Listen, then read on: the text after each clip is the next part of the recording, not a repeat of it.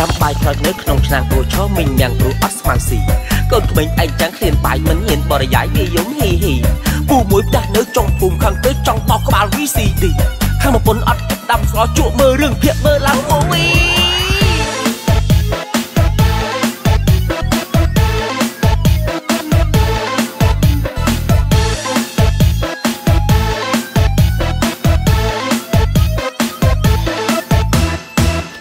កាត់ក៏មើលឌី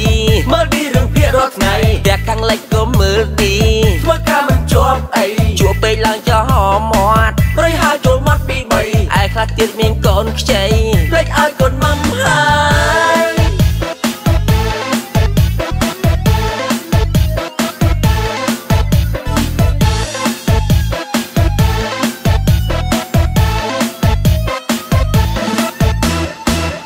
មួយថ្ងៃមិនតាន់អប់លើងអប់លើងមិនឈប់មើលពីថ្ងៃទល់ប្រលប់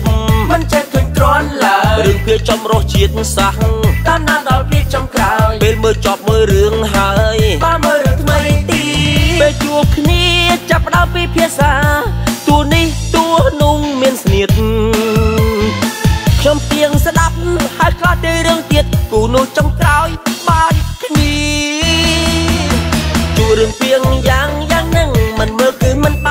ខ្លះប្តីហាមក៏មិនព្រមស្ដាប់បើឲ្យទៅជួយធ្វើការងារមិនសូវជាចំណាប់ព្រោះប្រញាប់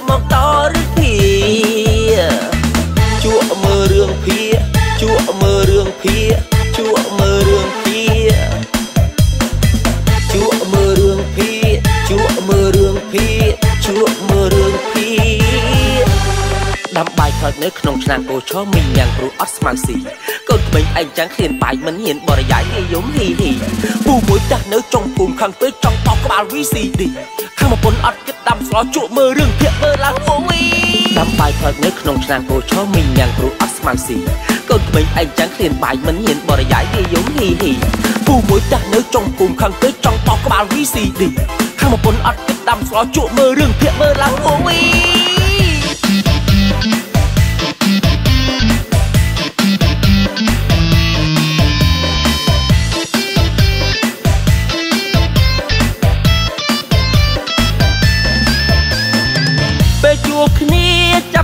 ភាសា